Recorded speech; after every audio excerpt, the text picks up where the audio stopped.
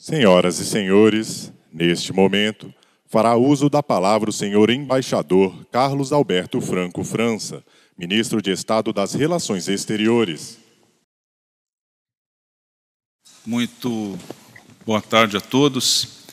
Queria agradecer a presença de todos aqui, mas especialmente do ministro da Economia, ministro Paulo Guedes, do ministro de Estado interino da Agricultura, Pecuária e Abastecimento, e do almirante Flávio Rocha, secretário de Assuntos Estratégicos da Presidência da República, para esse evento que, para nós, é significativo, porque é uma cerimônia importante de apresentação pela Apex Brasil, do Pavilhão do Brasil na Expo Dubai. É, passo então logo a palavra ao presidente Augusto Pestana para as suas considerações. Muitíssimo obrigado, eh, senhor ministro de Estado das Relações Exteriores, eh, embaixador Carlos França, que é também o presidente do Conselho Deliberativo da Apex Brasil. Né? Eh, ontem, inclusive, tivemos uma reunião do nosso conselho, presidida pelo ministro de Estado das Relações Exteriores, então, uma saudação muito especial. faço aqui também uma saudação muito especial ao ministro de Estado da Economia, Paulo Guedes, uma honra tê-lo aqui e uh, também aqui, justamente ao meu lado, o ministro de, de Estado interino da Agricultura, uh, Dr. Marcos Montes, enfim, que é um grande parceiro da Apex uh, na nossa atuação uh, na área do agronegócio, e o almirante Rocha, secretário de Assuntos Estratégicos da Presidência da República, outro grande parceiro, e na pessoa desses que estão aqui à mesa, eu faço uma saudação a todos os representantes dos ministérios, que foram parceiros incansáveis desse, de um esforço senhor ministro, que eu diria que é um esforço conjunto do Brasil, é, do governo, do setor público, mas também é, do setor privado. É? Então, nós temos é, essa exposição universal Dubai 2020. Eu pretendo aqui fazer uma apresentação a respeito do nosso pavilhão, do pavilhão do Brasil e do contexto geral, de um contexto que é um contexto extremamente especial. Nós temos um alinhamento que eu diria que é único na história das exposições uh, universais isso, portanto, oferece uma grande oportunidade para, eh, para o Brasil, para o conjunto da sociedade brasileira, para o setor público, para o setor privado. É? E é fundamental também fazer aqui uma, um agradecimento pela confiança é? do governo e do Ministério das Relações Exteriores na Apex como autoridade nacional, como órgão responsável pela construção e pela operação do nosso pavilhão. Isso nós aceitamos na Apex muito com, como uma honra, um privilégio, não é? e com sentido de missão. E aí é fundamental também reconhecer a participação da equipe eh, da Apex e faço uma saudação na pessoa do meu colega, diretor de gestão corporativa, o general Roberto Scotto, que aqui está, demais colegas da Apex. Nos dedicamos de corpo e alma à realização desse, desse pavilhão, que será apresentado na sequência. Essa primeira imagem, inclusive, é, que está sendo exibida já é uma imagem do nosso pavilhão pronto, não é? do nome do Brasil escrito logo ali na frente do pavilhão. Então, é, eu começo com uma espécie de sumário que é, ao mesmo tempo, é, um contexto, é, na linha do que eu havia comentado, desse alinhamento único de fatores que nós temos uh, nessa exposição de 2020. Então, em primeiro lugar, imagem, ah, que sempre foi algo muito importante. Eu vou depois entrar nos detalhes, mas basicamente é, nosso grande objetivo ali é conquistar corações e mentes desse público impressionante que estará presencialmente em Dubai. A dimensão de negócios, não é? é aí é uma particularidade é, de calendário e de Dubai ser cada vez mais um grande hub é, portuário, aeroportuário, econômico, um grande centro de feiras de negócios e fóruns de investimentos. Então, é, além, para além desses resultados intangíveis de imagem, nós teremos resultados muito concretos, não é, tangíveis, e eu vou entrar nos detalhes na sequência. Há um componente de tradição, é? que isso é, é fundamental lembrar, na medida que o Brasil está presente de uma forma ou de outra nas exposições universais desde a primeira, em 1851. Há um componente uh, inédito pelo fato de que, pela primeira vez, nós temos uma expo uh, no Oriente Médio e no mundo árabe, mais especificamente, e, ao mesmo tempo, uma retomada. A ideia de que Estamos uh, nesse, é uma expectativa, não é, creio, de todos nós e, em particular, dos organizadores da Expo 2020, da uh, retomada desse, uh, nesse, uh, um ciclo, já entrarmos no mundo pós-pandemia. E, enfim, claramente aí temos por coincidência com um anagrama de inter internacionais, estamos aqui no Ministério das Relações Exteriores, nada mais apropriado. Não é? E é um roteiro que eu começo já com uma imagem que é uma imagem, uma fotografia tirada é, na semana passada, ou seja, já do pavilhão é, pronto, e com essa, essa primeira é, leva de visitantes nos testes que foram realizados, é? e valorizando, obviamente, esse componente da, da imagem, que é um componente chave é? nas exposições universais, algo que eu diria que não é de hoje, é? o que esse, esse texto que, eu, é, que se exibe aqui é um texto de 1868.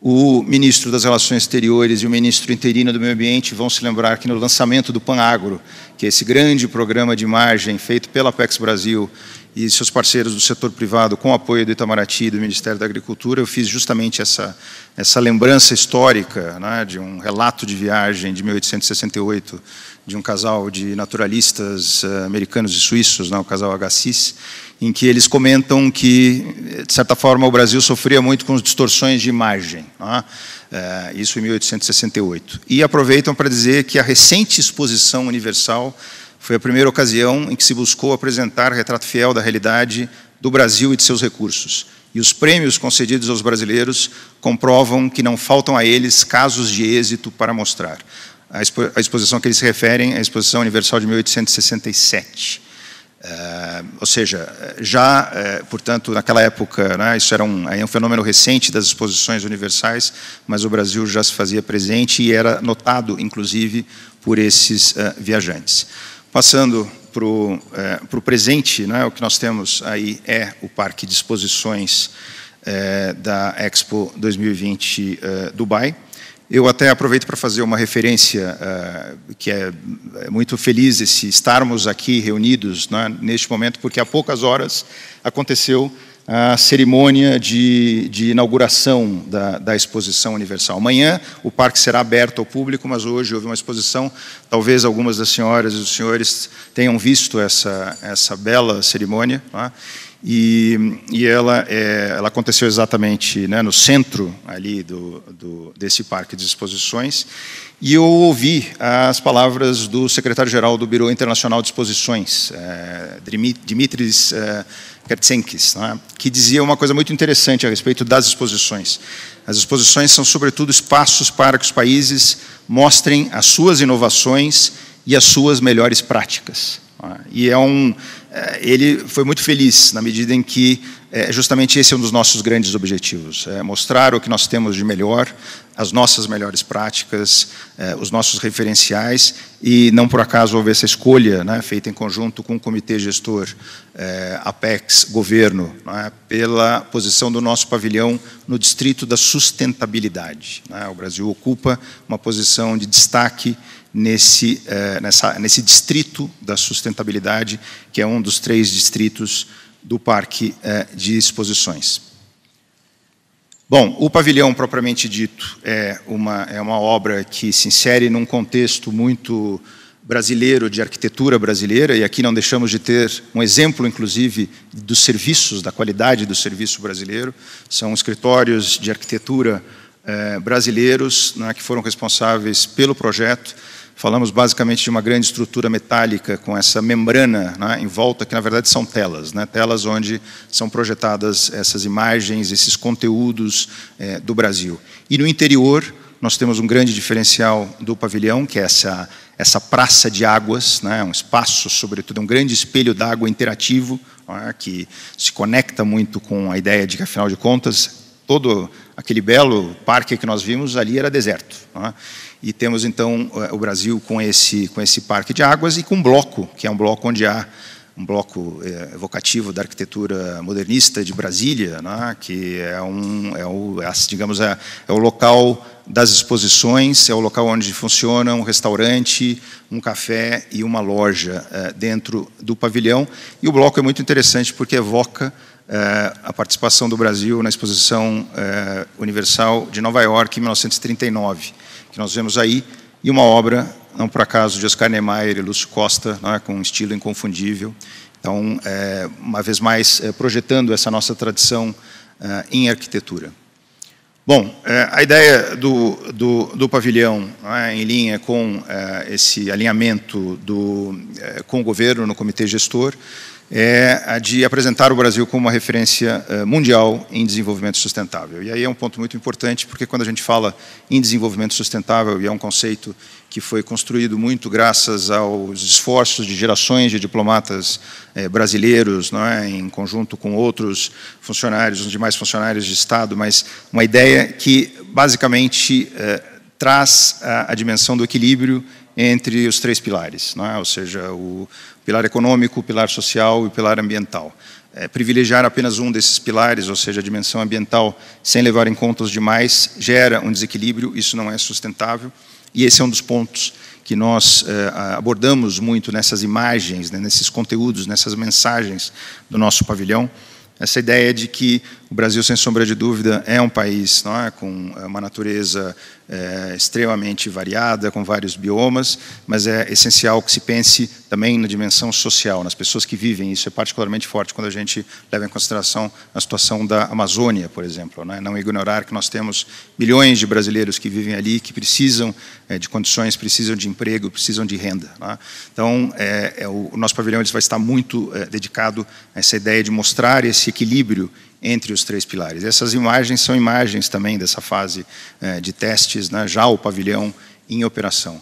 E lá nós levaremos, claro, é, muito do nosso dessa nossa expertise, dessas nossas melhores práticas né, nos mais diferentes campos. Isso inclui também a indústria e os serviços, né, mas no caso da agricultura, é, uma ênfase muito grande nessa, nessa ideia, né, ministro Marcos Montes, da, da agricultura de baixo carbono, é? ou seja, o Brasil é, sem sombra de dúvida, uma referência nessa área crescente, ainda mais às vésperas agora de uma importante conferência sobre a mudança do clima. A energia limpa, que é um diferencial óbvio do Brasil e que, no fundo, é uma, é uma base de toda a nossa estrutura econômica, né? não só uma energia limpa, uma energia renovável, uma energia sustentável, e o componente tecnológico que está por trás de tudo isso, ou seja, o Brasil como um país que é, é um país extremamente sofisticado e avançado.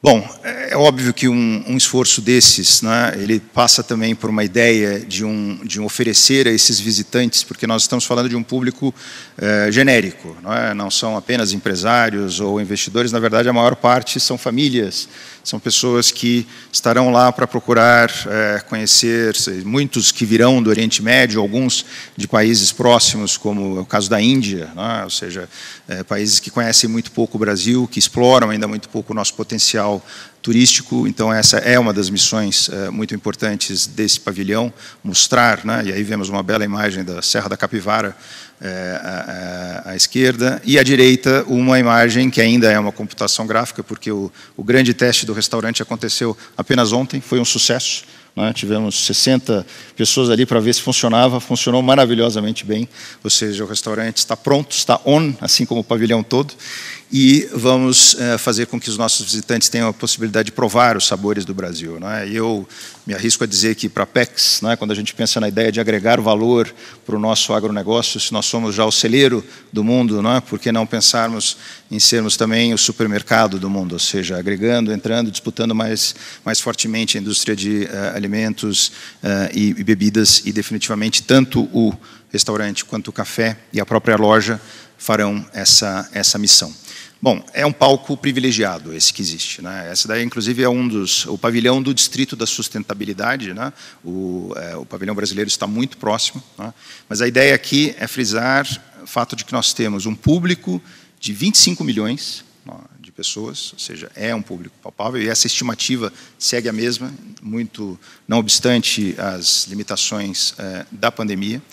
E uma programação de seis meses, 182 dias, né? que será completa, ou seja, aquele, eh, a nossa galeria, o nosso espaço de exposições, ele será utilizado ao longo desses 180 dias pelos nossos parceiros. Então, vários eh, eh, ministérios estarão aqui ocupando essa, o, esse espaço expositivo ao longo desses, desses seis meses e muitos representantes do setor privado, muitas associações, né, que justamente procurarão mostrar aí essa, essa visão né, de, de um Brasil sofisticado e sustentável.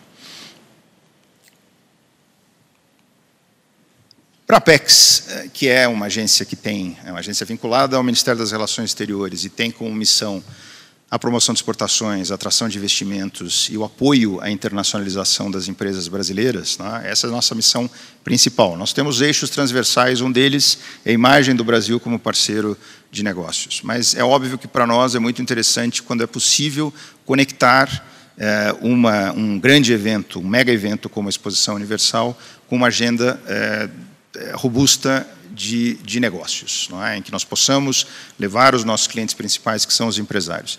E aqui eu ilustro esse ponto, é? o ponto 2 da apresentação negócios, com uma imagem do Dubai Air Show, em que, inclusive, óbvio, ninguém aqui vai passar num teste de oftalmologia, mas nós vemos alguns aviões da Embraer ali à direita. E 2021, Dubai Air Show, é, é, vai ser um pouco a, ser a retomada das grandes feiras da indústria aeroespacial depois da pandemia. Tá? Então, nós teremos, portanto, essa oportunidade extraordinária de levar produtos, um deles será claramente o nosso uh, avião de carga, o KC Millennium. É? Mas o que eu quero chamar a atenção aqui é essa ideia de que uh, a Apex utilizará o nosso pavilhão, a nossa presença na exposição, como um acelerador de negócios. É? as exposições universais elas não são tradicionalmente ambientes de negócios. É? As pessoas não vão ali para fechar contratos, mas há um, toda uma espécie de ambiente em torno, não só de Dubai, mas em Abu Dhabi também. Vemos, por exemplo, uma feira como a ADPEC, que é uma das grandes feiras também é, de petróleo e gás natural, que acontece, na verdade, em Abu Dhabi. Né? É, no caso do Dubai Air Show, como vimos, em Dubai, o próprio nome indica. A GoFood, né, que é muito conhecida né, do, aqui, eh, não só do Ministério da, da, Agricultura, mas basicamente uma das grandes feiras de, de alimentos e bebidas eh, no Oriente Médio e no mundo, onde temos uma presença tradicional. Feiras também do setor tecnológico, como é o caso da, da Agitex. No total, são 53 feiras né, que acontecem à margem da exposição eh, universal e a Apex uh, estará lá direta ou indiretamente em todas elas. É uma média praticamente de duas feiras para cada semana desse período de, uh, de duração da exposição de Dubai. Além disso, a exposição ela oferece uma espécie de portal business to business e nós temos 20 mil empresas brasileiras cadastradas. Isso é uma demonstração do interesse eh, muito grande do setor privado por essa dimensão de negócios fóruns de investimentos. É? é? Haverá quatro grandes fóruns de investimentos organizados pela Dubai Chamber. Nós participaremos diretamente com um foro, e eu vou mostrar em seguida uma imagem que fala desse, desse nosso fórum promovido pelo Brasil, é? para os investidores nos Emirados Árabes Unidos e na região é, do Golfo. Mas é, o que é central aqui é perceber que da, desse grande esforço é, de aceleração de negócios, nós teremos resultados que são superlativos. Uh, esses números o, o, ministro de Estado das Relações Exteriores apresentará depois, mas é, é muito, para nós é muito gratificante né, perceber que teremos é, esse, essa dimensão dos resultados tangíveis em termos de exportações, de atração de investimentos estrangeiros e, claro, geração de empregos e renda no Brasil. O, aqui o que nós temos é, é, uma imagem que, na verdade, é de 2019, né, da visita do presidente da República, 27 de outubro de 2019, um evento de negócios é, que contou com a coorganização da Apex é, Brasil. Tá? E no dia 15 de novembro agora de 2021, eu vou entrar em detalhes na sequência, que é o Dia do Brasil na exposição, nós teremos esse grande seminário, esse grande fórum é, Invest in Brasil, é? com um público é, expressivo de investidores é, da região, é? em que apresentaremos todo esse nosso portfólio é? impressionante de projetos na área de infraestrutura, além, é claro, de um grande número de projetos do próprio é, setor privado, porque é fundamental levarmos em consideração que é uma região com é, um, um, digamos, um excedente de capitais, é? ou seja, em busca de oportunidades e oportunidades aqui no Brasil não faltam. Bom, eu, eh, até por estar aqui eh, no Palácio eh, Itamaraty, que é, de certa forma, um templo de tradição e é um templo também da diplomacia pública, né, ou do public diplomacy, né, como dizem no mundo é, é, anglo-americano, né, anglo-saxão, que é essa ideia de você se comunicar também diretamente com sociedades estrangeiras, mostrando o seu soft power, não é? mostrando os seus diferenciais, porque você tem uma cultura, você tem é, ideias, você tem pessoas que são interessantes. E o Itamaraty sempre fez isso é, muito bem. O palácio, de certa forma, é realmente muito representativo do que há é, de melhor. Basta ver aqui essa, esse pano de fundo que nós temos é, da genialidade de Burle Marx, um prédio carrega todo essa, essa, esse gênio uh, brasileiro.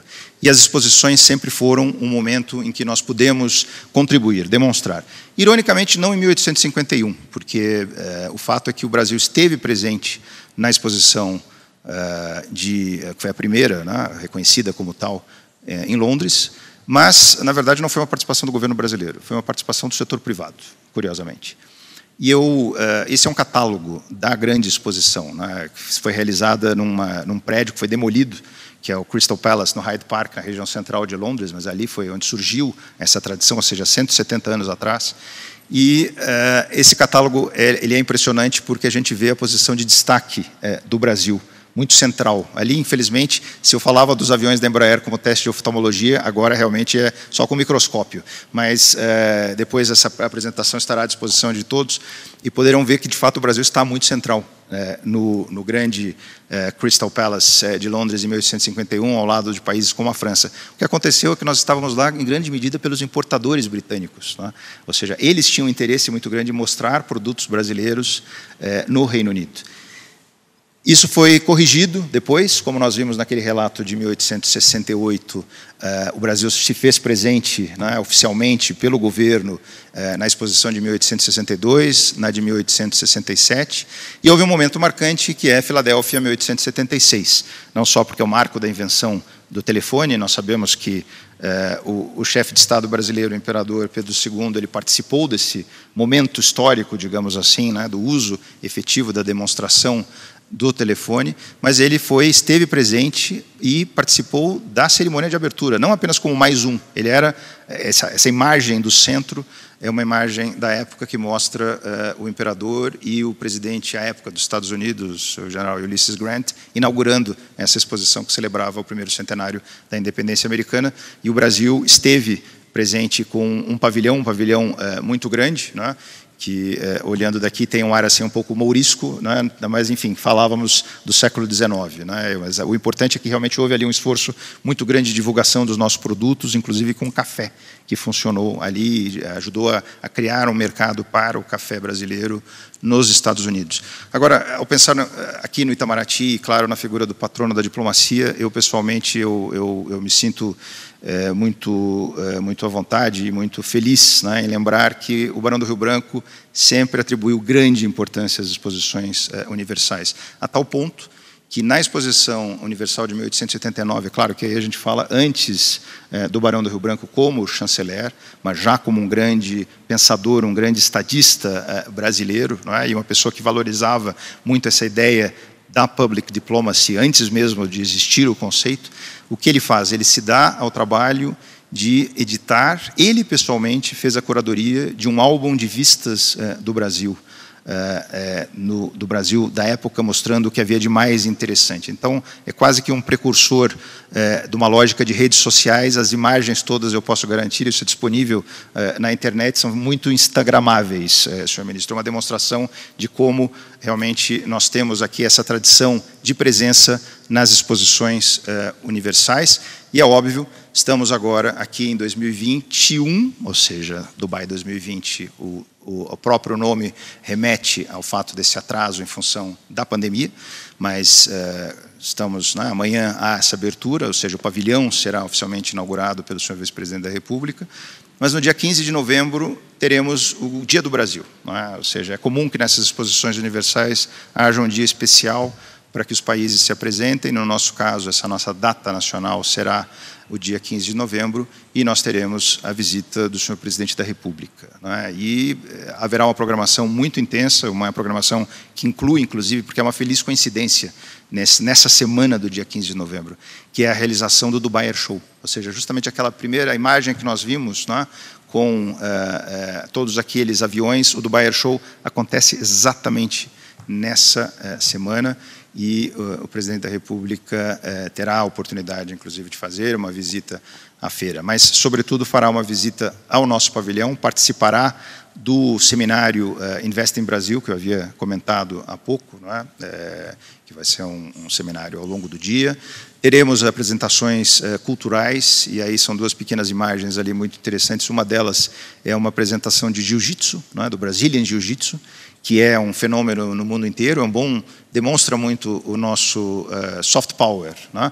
Uh, e, sobretudo, essa imagem né, da, do Brasil, um país interessante, sedutor e que combina diferenças culturais óbvias. O próprio nome, do, a expressão Brazilian Jiu-Jitsu já carrega essa carga né, de como nós somos transformadores né, e agregadores em termos culturais, e teremos, por exemplo, uma exibição é, do Chorinho Brasileiro, e um ponto muito importante é que esse dia terá uma programação muito especial em relação ao papel da mulher na sociedade, da mulher na economia. Né, a primeira-dama deverá participar, inclusive, de um dos painéis, né, uma série de painéis que acontecerão ao longo desses 182 dias de duração da Expo. No dia 15 de novembro, nós teremos foco justamente na, na questão é, da mulher. Então, em resumo, será um momento em que que todo o parque de exposições estará em volta do Brasil, com uma participação, claro, expressiva das autoridades dos Emirados Árabes Unidos, em particular do Emir de Dubai. E aí entra justamente nesse quarto ponto, né, dessa, dessa grande, esse grande alinhamento né, de aspectos muito especiais,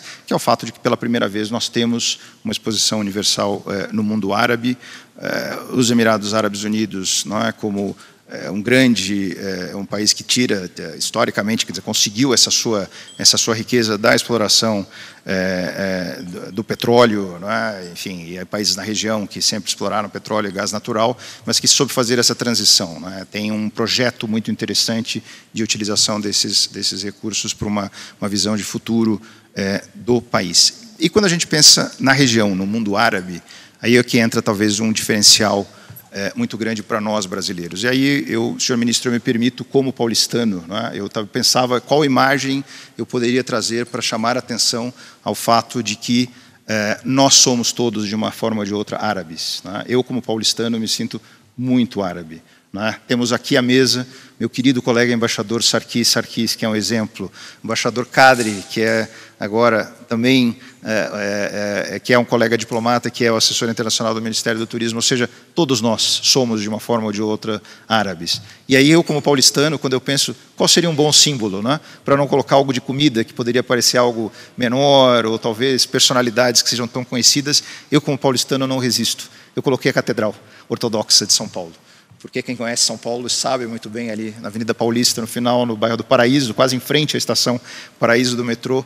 Esse, é sempre algo que me chamou a atenção foi essa catedral. E essa catedral existe por uma única razão, pelo fato de que o Brasil tem pelo menos 12 milhões de brasileiros com ascendência árabe, eh, muitos que deram essa contribuição à própria diplomacia, o embaixador Schoff, que foi secretário-geral das Relações Exteriores, hoje é presidente da Câmara de Comércio Árabe Brasileira.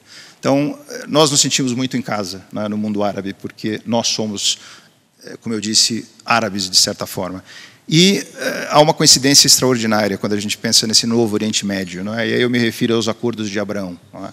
Então, é, sempre houve essa dúvida do que aconteceria né, numa exposição universal no mundo árabe, é, da presença ou não de um país como Israel. Israel está presente. Há um pavilhão é, de Israel na Expo e não por acaso, isso é uma, grande medida, é uma consequência desse, desse acordo histórico, que permitiu, por exemplo, é, conexões internacionais entre o aeroporto de Israel, Lod, e o aeroporto de Dubai. Então, há um voo direto, Israel estará presente. Em resumo, é um Oriente Médio que se renova, que oferece novas oportunidades de interação, de cooperação com o Brasil.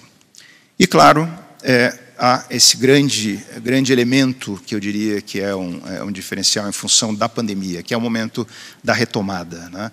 E eu fiz questão de colocar aqui essa imagem que é daquela praça central é, do Parque de Exposições. Al-Wasl, em árabe, né? a conexão. Então, de certa forma, o que acontece agora é que nós teremos um momento de reconexão, porque depois né, de todo, todo esse tão, período tão, de tanto sofrimento, com perdas de vidas humanas e com toda essa conectividade uh, que se perdeu, é? nós temos agora, na Exposição Universal uh, de Dubai 2020, um marco dessa retomada. Então, nós uh, estamos muito confiantes, senhor ministro, de que teremos esses, esses resultados em termos de margem, de negócios, manteremos a tradição do Brasil, exploraremos esse, os horizontes do, do Oriente Médio e estaremos participando dessa festa que será uma celebração dessa reconexão, uma grande celebração da humanidade. E eu queria, para terminar, dizer uma vez, uma vez mais que para a PEX é uma honra participar desse, desse projeto. Agradecer a todos os que estão aqui, as suas instituições, os ministérios, é? pela, pela orientação e pela parceria. É, na verdade, o trabalho começa agora, né, depois de tanto tempo de preparação, mas, enfim, amanhã efetivamente será o dia em que os nossos visitantes estarão presencialmente vendo essas mensagens do Brasil mas é, esse é algo que para a PEX é muito fundamental, né? esse trabalho em parceria, trabalho em cooperação, em conjunto. E é com esse espírito que eu venho aqui. Muitíssimo obrigado. Senhoras e senhores, neste momento será exibido o vídeo do excelentíssimo senhor General Elias Martins Filho, comissário-geral do Brasil para a Expo 2020 Dubai.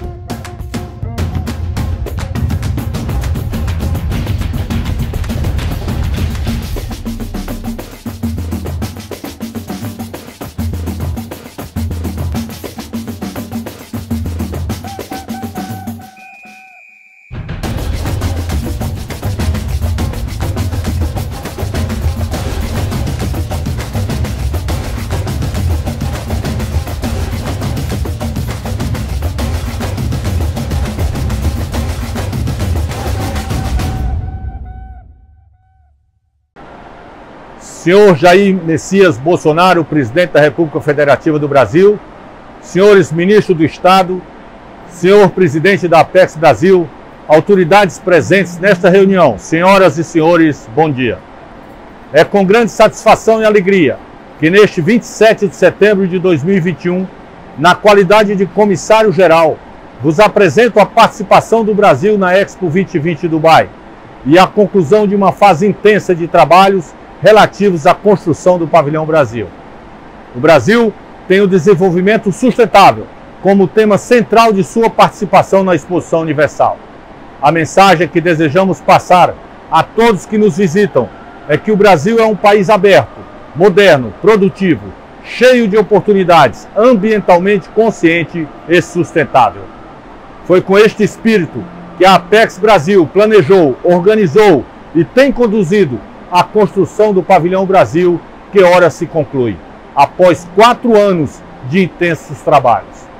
Esta belíssima estrutura metálica, coberta por uma membrana translúcida, onde, particularmente no período noturno, o visitante poderá sentir o Brasil, suas culturas, tradições, suas capacidades e seu povo.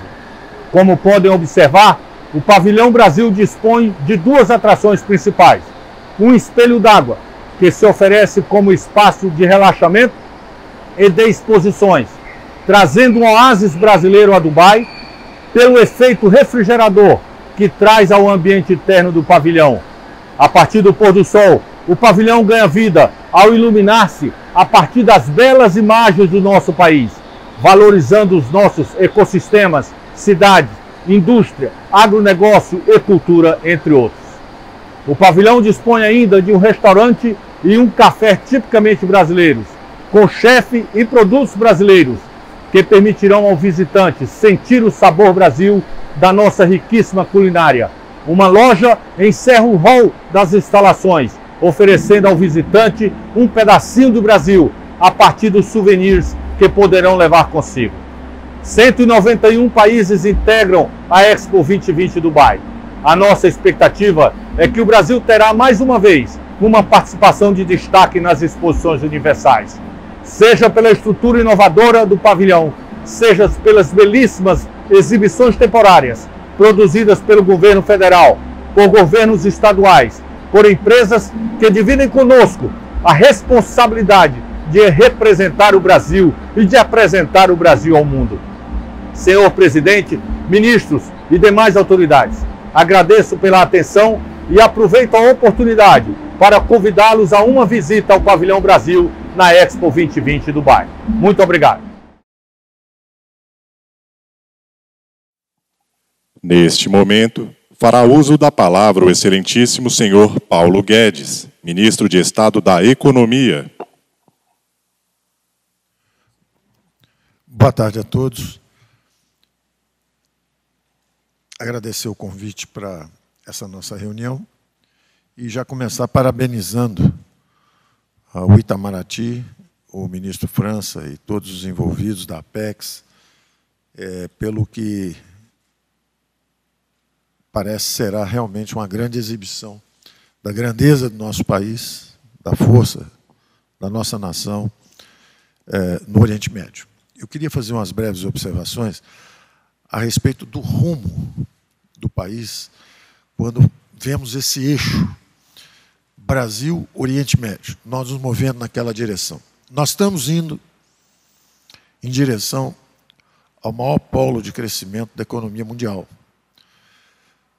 O Brasil, esse ano, retomando seu crescimento, deve chegar a meio trilhão de dólares de corrente de comércio e um superávit comercial de quase 100 bilhões de dólares. Se recuperando de uma terrível tragédia, de uma pandemia que derrubou as economias no mundo inteiro. E o Brasil se levanta e sai andando, e é interessante como logo nessa Expo nós temos a possibilidade de mostrar a exuberância, a força, a resiliência dessa nação. São 3,7 bilhões de eurasianos saindo da miséria depois que mergulharam justamente nos fluxos globais de comércio. Era uma região pobre, o Ocidente próspero, e agora o maior eixo de crescimento do mundo é naquela direção. E o Itamaraty, dentro da sua longa tradição, primeiro de manter um país de continental, de dimensão continental, não é? em meio, você vê o que foram, o que nós conseguimos fazer, o Barão do Rio Branco, particularmente aqui, celebrado também, é, a cultura espanhola se estilhaçou em vários países em torno do Brasil e nós conseguimos manter essa integridade nacional. Então, é, é esse Brasil forte, que se manteve unido desde lá de trás e que agora se projeta em direção às regiões de maior crescimento no mundo. Eu queria fazer essa observação porque, ao longo da pandemia, as importações da Europa caíram mais de 30%. As importações americanas caíram mais de 30%. Já as importações da Eurásia subiram mais de 40%. Então, nós estamos nos conectando agora com o que pode ser o hub, não só de exportações nossa para o resto do mundo, naquela região mais dinâmica, mas como também de recebermos os investimentos, porque o Oriente Médio cada vez mais é um centro financeiro mais sofisticado. Eles estão reciclando os petrodólares, eventualmente vão pacificar aquela região. E daqui para lá vão nossas exportações, de lá para cá vêm os investimentos. E eles também devem, possivelmente, o Oriente Médio vai se tornar um grande hub de conexão nosso. E nós estamos voltando ao caminho das Índias orientais. Se nós conseguimos transformar a Índia, que é a segunda uh, é a, é, a, é a, primeira maior democracia do mundo, né? E uma das grandes potências econômicas atuais, mas é a segunda maior, é a primeira maior democracia do mundo. É, se nós conseguimos uma trajetória semelhante, importante mencionar isso aqui particularmente no Itamaraty, se conseguimos uma trajetória semelhante de aproximação com a que conseguimos com a China, é, em que saímos de um fluxo de comércio de menos de 5 bilhões no início do século, para em pouco mais de 20 anos, chegando a um fluxo de comércio de 100 bilhões com a China. Se conseguimos reproduzir a mesma coisa com a Índia, e temos tudo para conseguir isso, eles têm as mesmas restrições que os chineses têm de uma população muito grande e a dificuldade de produzir alimentos por não disporem de uma base hídrica como o Brasil dispõe. Então, essa vocação natural do Brasil, potência verde, do Brasil celeiro do mundo, essa vantagem competitiva que o Brasil tem de transformar água e sol numa grande dimensão continental, sem destruir a natureza, é uma das matrizes energéticas mais limpas do mundo. Na verdade, é a matriz energética mais limpa do mundo. É um país que está com dois terços do seu território exatamente como diz o nosso ministro de Turismo, da mesma forma que quando Jesus Cristo caminhou entre nós.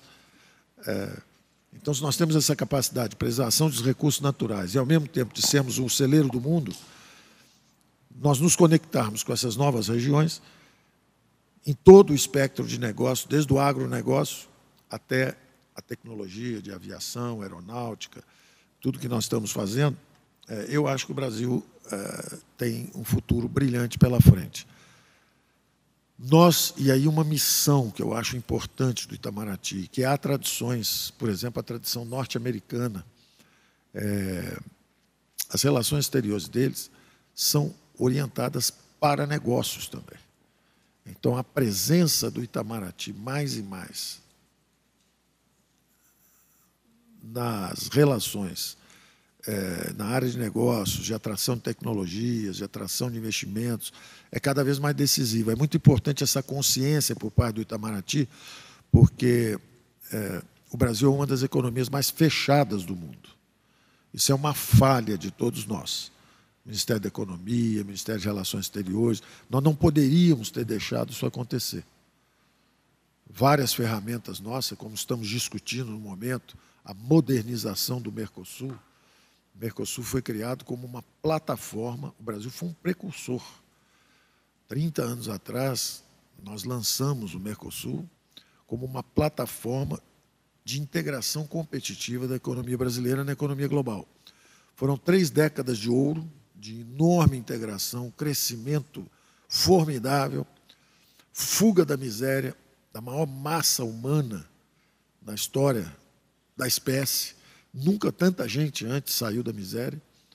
China, Indonésia, Índia, Vietnã, Afeganistão, é, leste europeu, todos eles mergulharam nas correntes de comércio global e saindo da miséria. O grande escape, assim é conhecida essa grande fuga da miséria, o grande escape. E o Brasil, ao contrário, que tinha sido um precursor, que lançou o Mercosul como uma plataforma de integração competitiva e hoje negocia um terço do que negociava 30 anos atrás como percentagem do PIB. Quer dizer, nós nos fechamos. Por 30 anos, o Brasil se encolheu. Em vez do Brasil se projetar, extrovertendo essa belíssima cultura, extrovertendo essa sofisticação, essa capacidade produtiva, esse pote de miscigenação cultural, étnica que nós somos, em vez de nos exibirmos e nos integrarmos, nós nos fechamos. E isso é uma cicatriz que nós temos que reparar. Porque o Itamaraty é o grande condutor. Como permitiu esse fechamento? E a economia, da mesma forma, é um grande condutor e também permitiu esse fechamento relativo. Então, eu acho que quero saudar, elogiar finalmente a iniciativa, dizer que o aperitivo é excelente, né? belíssima apresentação, vai nos orgulhar a todos. Manifestar meu apoio total ao nosso ministro França na condução disso, à Apex, é, dizer que nós estamos juntos, certamente estaremos juntos lá, nesse relançamento do Brasil, nesse renascimento, nessa retomada do Brasil, que ao mesmo tempo que é o celeiro do mundo, é também a potência verde do planeta. Então, para um futuro verde digital, nós que elegemos um presidente sendo o quarto maior mercado do mundo da tecnologia digital, o presidente foi eleito pelos brasileiros com o iPhone na mão.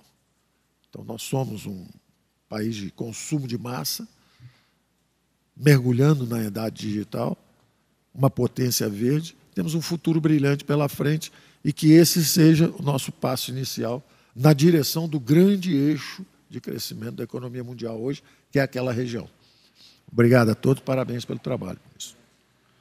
Neste momento, fará uso da palavra o excelentíssimo senhor embaixador Carlos Alberto Franco França, ministro de Estado das Relações Exteriores. Os parabéns são todos devidos aqui, viu, ministro Guedes, à equipe da Apex e Apex Brasil. E dizer que amanhã realmente é um dia de especial significado para a promoção da imagem do Brasil, com a inauguração, como vimos, do pavilhão do Brasil na Expo Dubai. É um belíssimo pavilhão do qual todos nos orgulhamos. E assim se culmina o trabalho meticuloso e de muita dedicação e empenho de toda a equipe da Apex Brasil e de seus parceiros nos setores público e privado. É preciso lembrar, porém, que a construção do pavilhão foi apenas uma etapa e inicia-se amanhã uma fase tão ou mais importante dessa jornada, com a abertura da exposição até o próximo dia 31 de março, e a realização de diversas atividades de promoção e divulgação.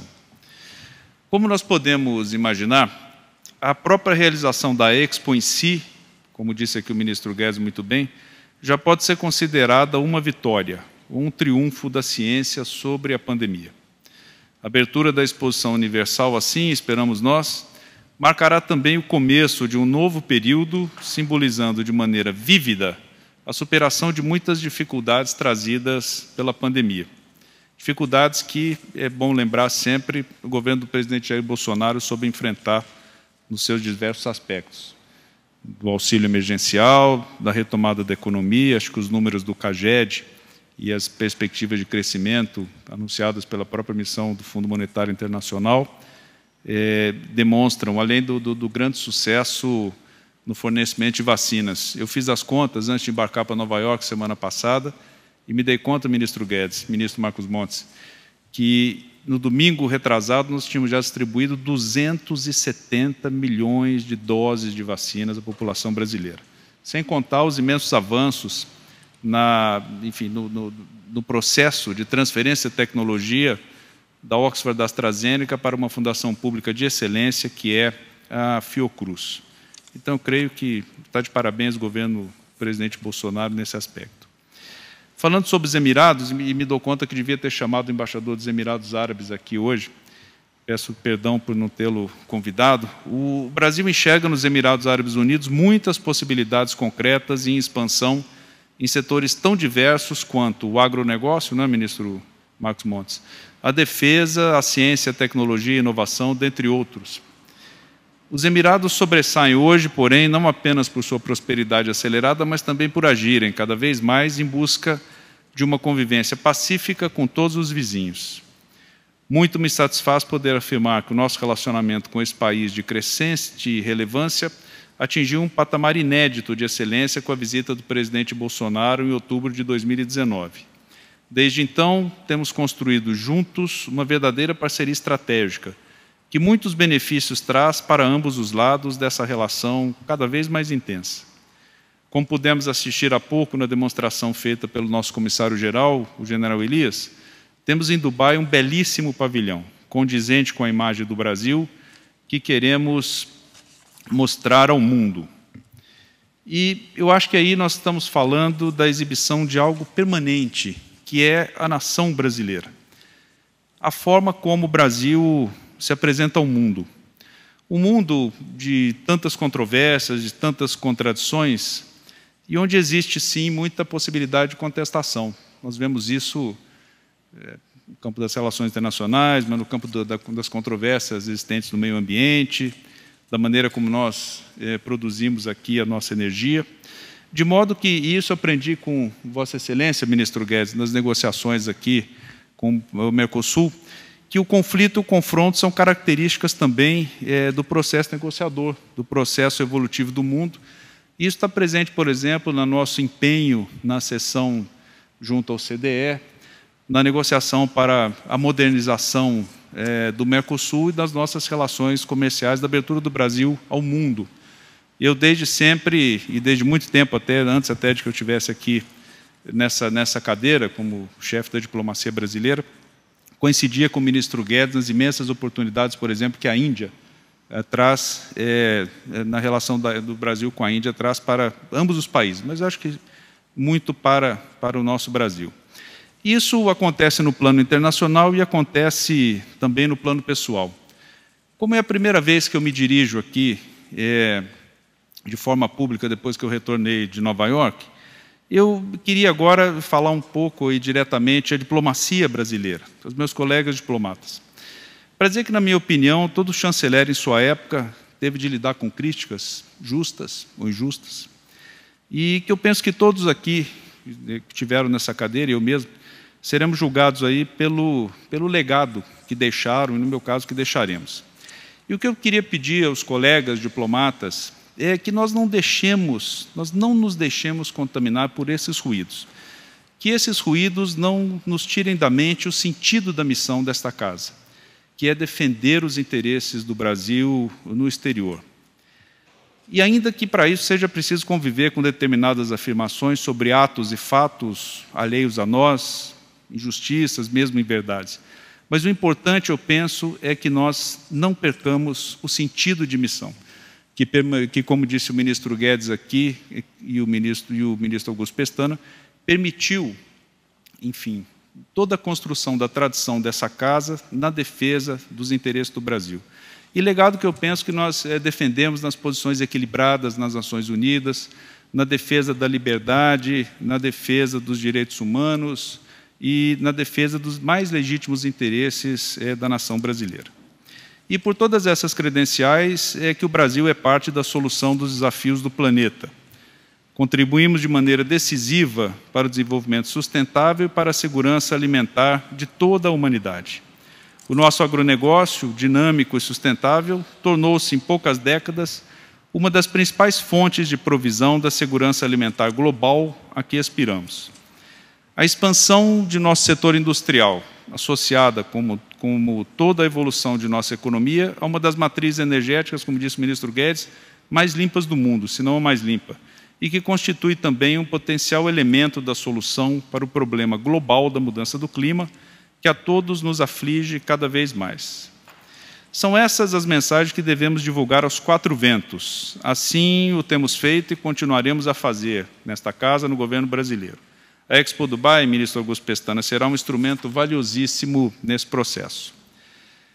Sei que a Apex Brasil tem trabalhado com afinco para alcançar esses objetivos e que organizará durante a Expo diversos seminários, feiras, fóruns de investimentos, rodadas de negócios e outros eventos empresariais destinados a incentivar os negócios nos mais variados setores produtivos. No próprio Dia do Brasil, na Expo, 15 de novembro, está prevista a realização do Fórum Invista no Brasil, o Invest in Brasil Forum. A nossa expectativa em relação a esses eventos é muito positiva e estamos seguros de que ela se cumprirá. Estimamos de forma tentativa que essa intensa agenda resultará em cerca de 500 milhões de dólares adicionais em exportações. Resultará na atração de 10 bilhões de dólares a mais em investimentos estrangeiros diretos e na geração ou manutenção de cerca de 20, 120 mil empregos diretos são números muito expressivos, que, juntamente com os ganhos de promoção da imagem, justificam todo o nosso esforço. Aos que viajarão a Dubai, eu desejo muito êxito em suas missões. Muito obrigado. Senhoras e senhores, está encerrada esta cerimônia. Agradecemos às senhoras e aos senhores participantes e desejamos a todos uma excelente tarde.